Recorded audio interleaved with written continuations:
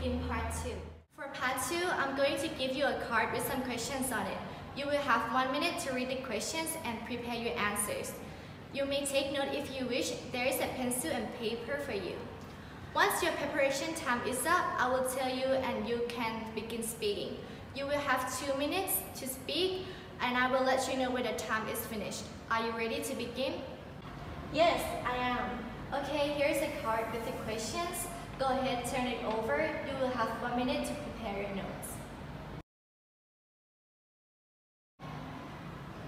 Okay, your one minute preparation time is up. Please begin speaking.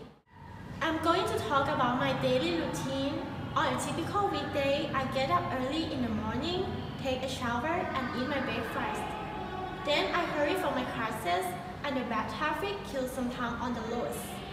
After I reach the school, I need to concentrate on my study. During the break time, I have a lunch with my friends, which is the most enjoyed time of the day. I return home at around 4.30 p.m. I eat my dinner that cooked by my mom. Read some books because I believe that to know what you know and what you do not know, that is true knowledge. Then I watch a movie and go on the internet until 10.30 and then prepare to go to bed. I usually sleep around 11 and always try to listen to music before I sleep. If I have an exam, I study till late night.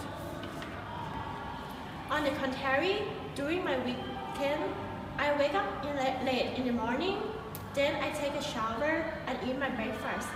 I go to the gym to keep fit and stay healthy. And I return home before lunch. I either go to the shopping mall or to buy necessary things or a special class. In the evening, I go to the park to walk with my family because the weather is so nice. I usually take my dinner around 5 p.m. during my days off and I go to bed around 10.30. Okay, your time is up. May I have a card back, please?